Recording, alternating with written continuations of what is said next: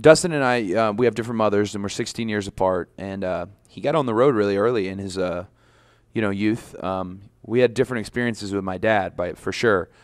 But he, um, I, when he was like early WCW, right after he'd done the thing in the WWF with my dad, I thought he was the coolest guy ever. We at the Omni, he'd come out, the natural Dustin Rhodes, and all the, he'd get what uh, I guess people call it a chick pop, when like all the women scream chick pop. is that a chick pop? yeah, chick pop. I don't know, but I like, love that, like the man who is against. Yeah, the that's, like, the best way to like, You're just giving more Yeah, terms yeah. to all of us. Chick pop.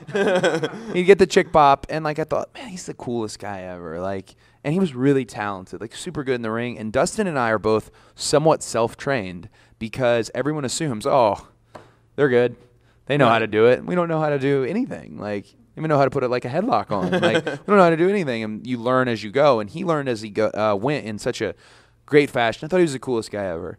So it's pretty well documented after that. Him and my dad had this big falling out, which rightfully so. They needed to settle their issues because my dad was on the road for Dustin's life, whereas with me, my dad was with me for everything. So Dustin had very obvious grievances, and they um, they had their falling out. So I missed it all.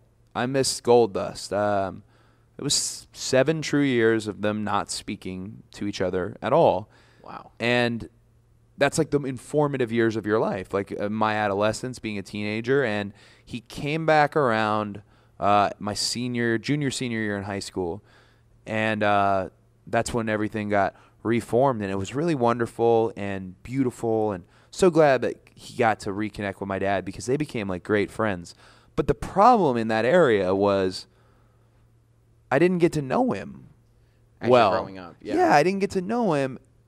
I feel like I didn't really get to know my brother until we actually tagged together. Mm-hmm. And people think, "Oh, what was it like growing up together?" Well, we didn't grow up together. What was it like at the dinner table, buddy? Well, we never Two separate dinner never ate dinner together, huh? But then we tagged together, and that was a really unique experience in terms of as when we were Cody and Goldust, and then when we were, you know, Gold and Stardust, however they, whatever they decided to call us. Um, but yeah, that was when we got to know each other the most, and I'm very thankful to WWE um, for giving us the chance to get to know each other. But by Yeah. then there was no there was no resentment about you being the one who got attention from your dad. That was all squashed.